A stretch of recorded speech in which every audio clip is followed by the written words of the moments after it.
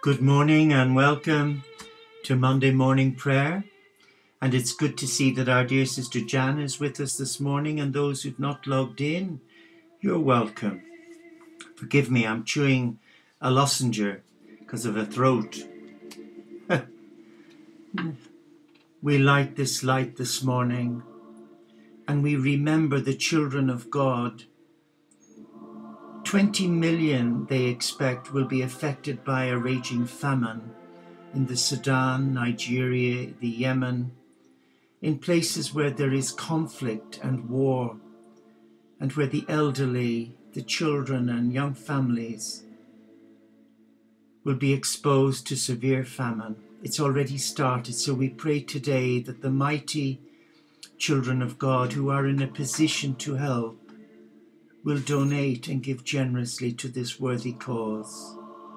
For we shouldn't allow such catastrophes, especially when you see the food mountains and the waste of food. So we pray, Almighty God, bless your children this day and protect them from this dreadful famine. Amen.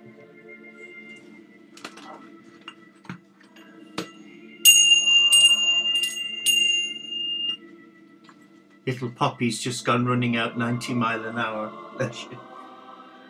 Our morning prologue for this Monday morning, we enter the eternal and infinite garden with reverence to the Heavenly Father, Mother God, the earthly Mother, and all the great masters, and reverence to the holy, pure, and saving teaching, and reverence to the brotherhood and sisterhood of the elect.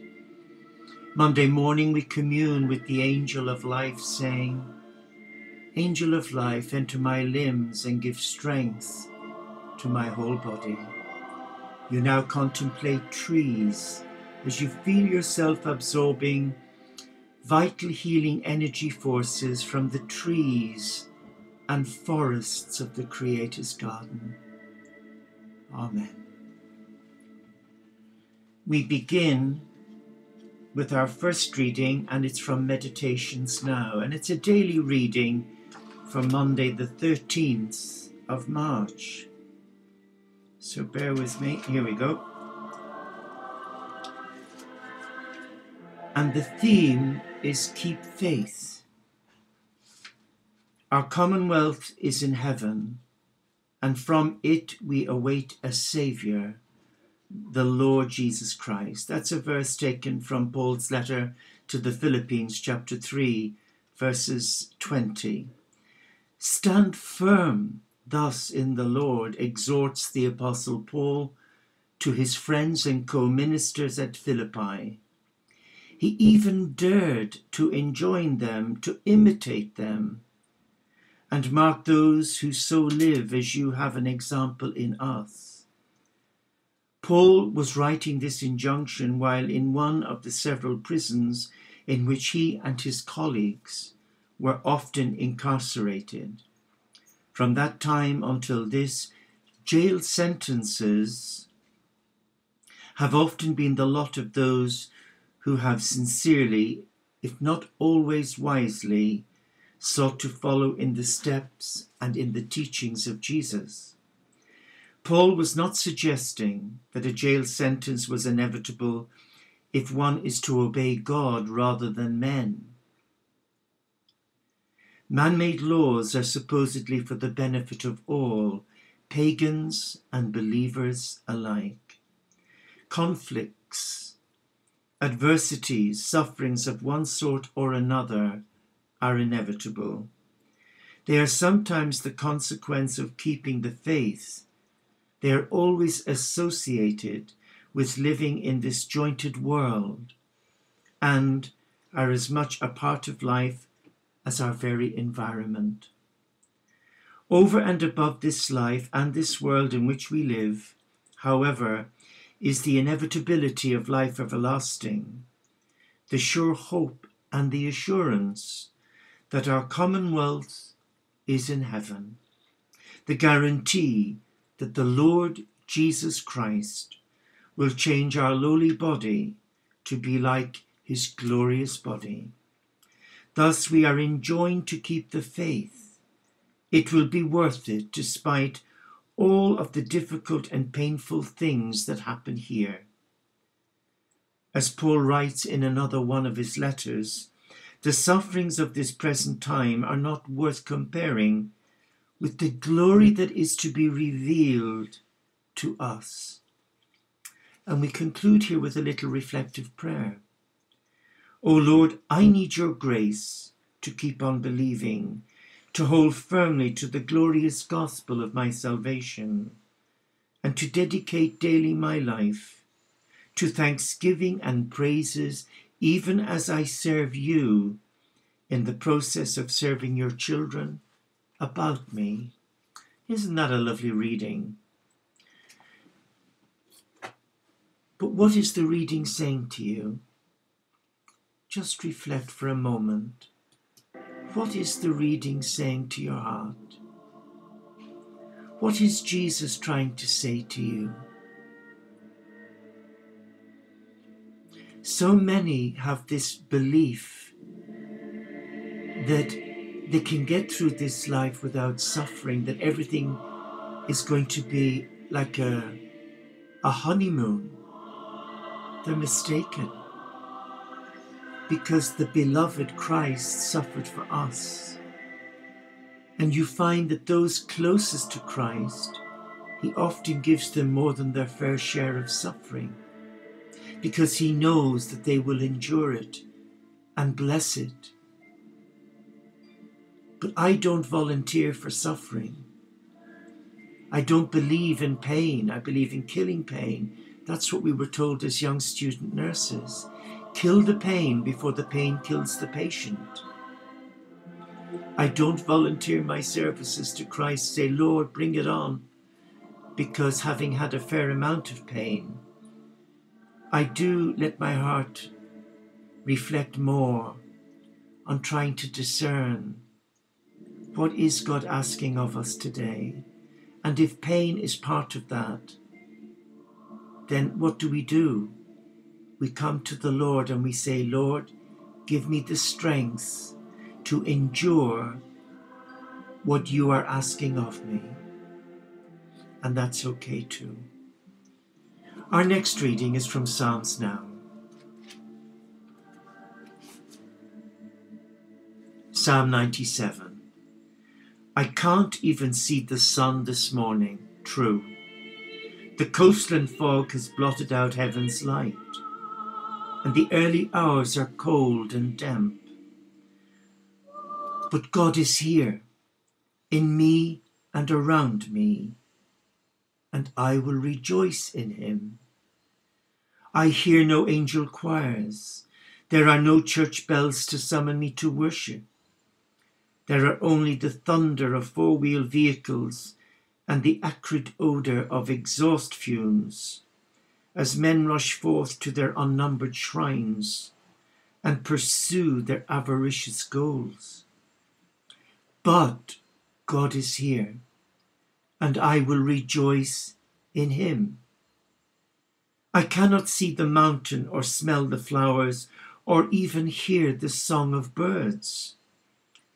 I cannot love the people who bustle about me I see unhappiness and injustice and depravity. I hear the ear grating sounds of pain and complaint. I feel the stifling pressures that suck me into the stream that rushes by my door. But God is here, in me and around me, and I will rejoice in Him. Our great God does care for his creatures. He secures forever those who relate to him. He is here, he is in us, and he is around us. Let us all rejoice in him this morning. Let us be still in the presence of God's love. Let there be no fear in our heart as we come to this table of love. God is here. and opening this little book of comfort and healing, prayers of inspiration from many faiths, we read from the section God tests our detachment. From the Buddhist tradition, we read If by giving up a small pleasure one sees a great pleasure, the wise will let go of the small pleasure and look to the great one. And from Sikhism, the gold is touched to the touchstone and tested by fire.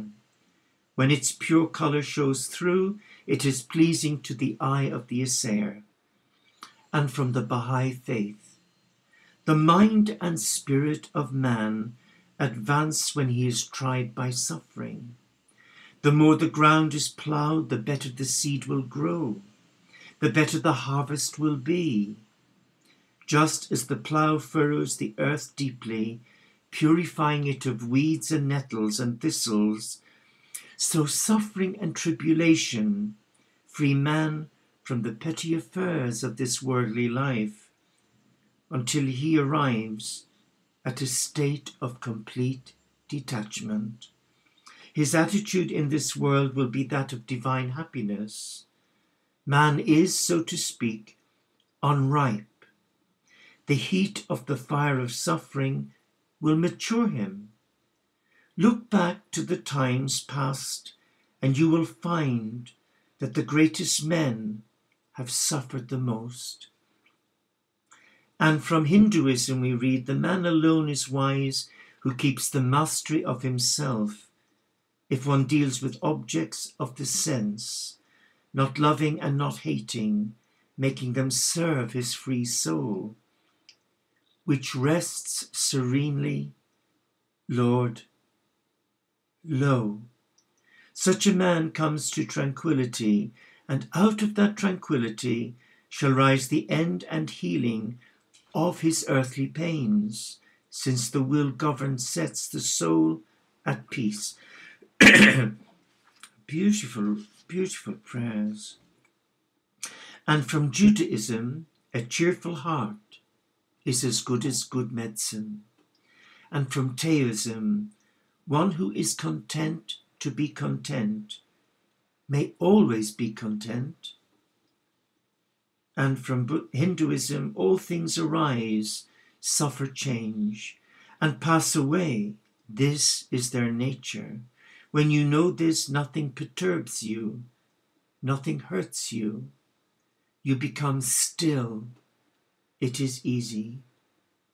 And finally, from our Buddhist brothers and sisters, encountering sufferings will definitely contribute to the elevation of your spiritual practice provided you are able to transform calamity and misfortune into the path. Wow. And now we come to a special reading for Lent from the Divine Office of Lauds for this Monday morning. Just bear with me. Up, up, seeing a page. Now, Sorry about that. This is so old. All the pages are sticking. Gotcha. Now, and the scripture is from the book of Exodus, chapter 19, verses 4 to 6a. You have seen how I bore you on eagle's wings and brought you to myself. Now, therefore, if you will obey my voice and keep my covenant, you shall be my own possession among all peoples. For all the earth is mine, and you shall be to me a kingdom of priests and a holy nation. This is the word of the Lord. Thanks be to God. and the short responsory it is He who will free me from the snare of the hunters. It is He who will free me from the snare of the hunters and from the evil word. It is he who will free me from the snare of the hunters. Glory be to the Father, Mother God, to the Lord Jesus Christ, our teacher, to the Holy Spirit of God. It is he who will free me from the snare of the hunters. And the Benedictus antiphon Be compassionate as your Father, Mother, God are compassionate, says the Lord. Okay, and now I invite you to join me for the beautiful canticle of Zechariah, the Benedictus. Blessed be the Lord, the God of Israel. Excuse me. He has visited his people and he has redeemed them. He has raised up for us a mighty Saviour in the house of David his servant, as he promised through his prophets from of old, a Saviour who would free us from our sin, from the hands of all our enemies, so his love for our fathers is revealed and his holy covenant remembered. He swore to Abraham our father to grant us that free from fear and safe from the hands of our enemies, we might serve him in holiness and justice all the days of our life in his presence. And as for you, little child, you shall become a prophet of God the Most High.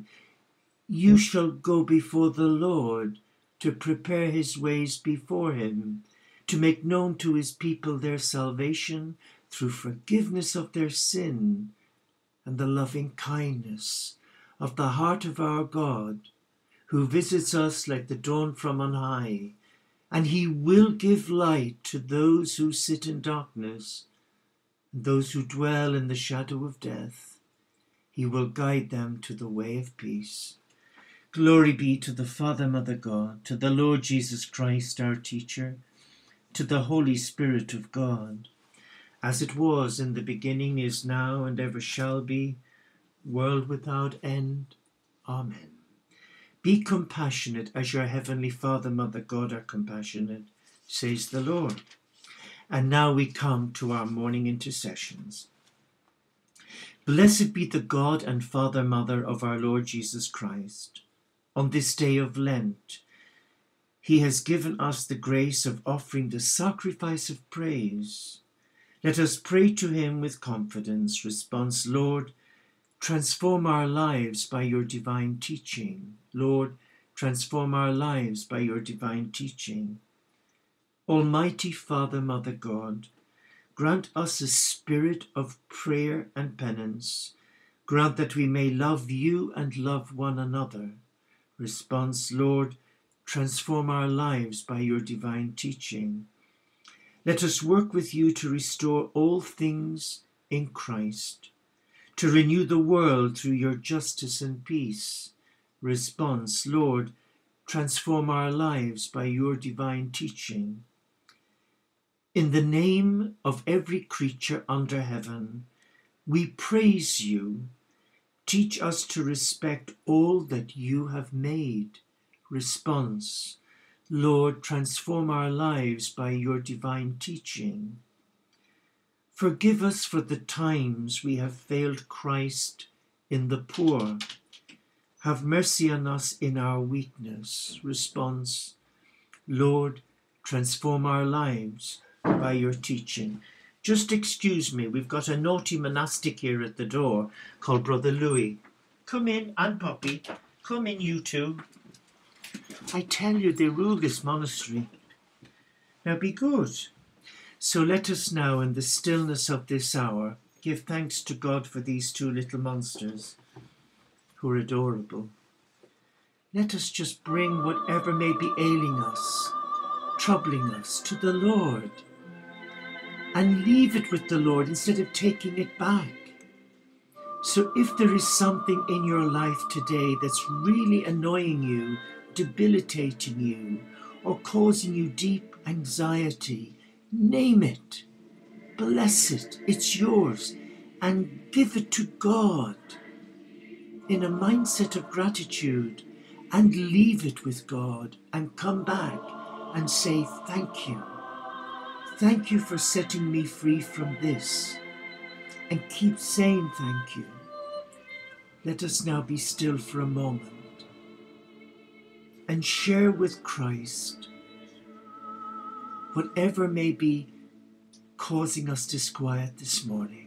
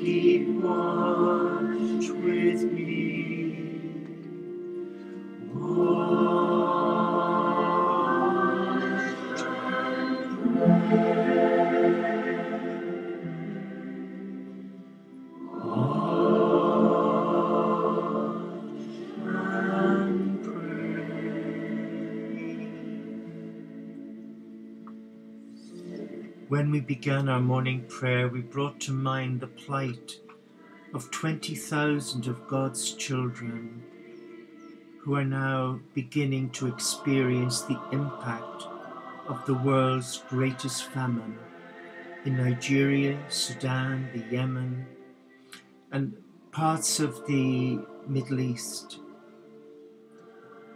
Their animals have died. There is no water, and there has been no water to feed their crops. Children are unable to suckle on the mother's breast because there's nothing there, because the poor mam- mother is just standing. Grandparents are falling by the wayside. Let us bring our brothers and sisters, members of the mystical body of Christ, to our Father, Mother God and say, Hear our prayer.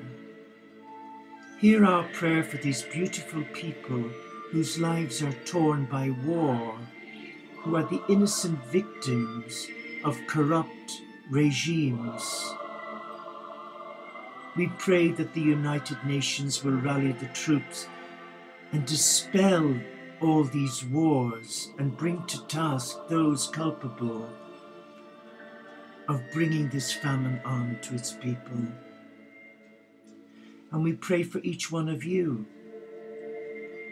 We pray for dear Jan and her family there in St. Helens, for each one who've not logged in, for the brothers and sisters of our community, especially our amazing troubadours who are in training, dear Nancy in Mexico, Jackie in Idaho, Buffy in New York, Matthew in Texas, Brother Brian, our Franciscan trucker who goes from state to state, Brother Liam in London, and dear Sister Jane in Coventry, Sister Diane in Lee. But we pray for those who have chosen to live the hermitic life with no connection to the internet or to the outside world. Sister Miriam in New Zealand, who's really struggling with mental health issues since she moved from the south to the north of the island. Brother Harry, again afflicted with mental health issues. We pray for our community here, for Brother Rob, Paul, and myself. We remember dear Olivia, who came down last week with a recurrent um, exacerbation of her bronchitis. We pray for dear Olivia, and we pray for Elaine and Peter Lee Sister Elaine. We pray for Eleanor and Elizabeth for their protection tomorrow. When they were, they're told they're going to have 12 inches of snow. My word. For Murray. We pray for our dear next door neighbour Noreen, who's been in and out of hospital this week like a yo yo, and who sadly yesterday morning had to have the doctor and an ambulance. They're suspecting now a clot on her lung and she looked really, really poorly. So we pray for Noreen, but we pray for God's children who are ill in our hospitals and care centres, in our hospices, and for the amazing men and women who've given their lives to caring for them.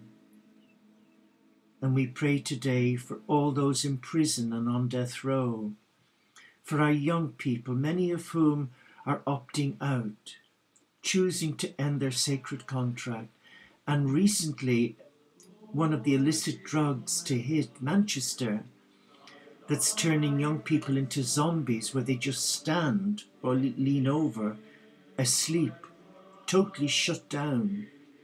And they're everywhere. So we pray for the emergency drug services and the volunteer groups that they're given the funding to re educate our young people not to take these illicit happy drugs, whatever they're called. But it's scary to see them, they're just like zombies. So we pray for our young people, many of whom need love and support. Many of them are filial children, from dysfunctional homes and families. So let us pray.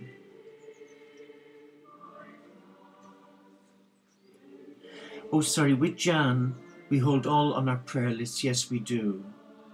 And I pray for our dear sister in Al- Albuquerque in Canada, Corazon de los Santos, with her son Daniel and her brother Fostia and Fastion. And we pray for Syria and all refugees. Yes, of course. And we pray for the many who've asked for prayer. We now pray the Lord's Prayer. Our Father, Mother God, hallowed be your name, your kingdom come, your will be done, on earth as it is in heaven. Give to each one of us here today our daily bread. Forgive us our misdemeanors, our selfishness, our self centeredness. Lead us not astray, but protect us from the forces of evil, negativity, despair, and hopelessness. For thine is the kingdom, the power, and the glory for ever and ever. Amen. Amen. And instead of our closing prayer, I'm going to read this, which I got from the Unitarian Chapel three weeks ago, and it's lovely. God has no hands but our hands to do his work today. He has no feet but our feet to lead men in his way. He has no tongue but our tongues to tell men how he died. He has no help but our help to bring them to his side. We are the only Bible the careless world will read. We are the sinner's gospel. We are the scoffer's creed. We are the Lord's last message, given in deed and word. What if the type is crooked? What if the print is blurred? What if our hands are busy with other work than His? What if our feet are walking where sin's allurement is? What if our tongues are speaking? How can we hope of things his lips would spurn? How can we hope to help him and hasten his return? Isn't that a beautiful, beautiful poem? Well, go in peace to love and to serve our God. And just quietly, we take a deep breath and we breathe in the breath of the Holy Spirit as we say, Breathe on all here, O breath of God. Fill us with life anew, that we might love what thou dost love and do what thou wouldst do. And as I blow out this flame, I call on our Father, Mother God, a God who has many names. I call on the angelic realm, the messengers of God. I call on all the saints in the Christian tradition, and I call on all the holy men and women, the prophets and teachers of different beliefs, and our ascended masters. And we say, Protect your children today. Protect us from harm, and please prevent this awful catastrophe where two million are expected to die of famine. Amen. So go in peace to love and to serve our God. And I think the sun is trying to come out. Alleluia. Namaste, Shalom, Inshallah, Pax et Bonum, Om Shanti, Solo di Caritas. Salam Alaikum, and may the peace of our God, your God, reawaken in your heart today that you are a beloved of God and that your life does matter. Amen. Thank you for joining me, and I look forward to your company again. God bless, have a lovely day, and if it's your bedtime, sleep well.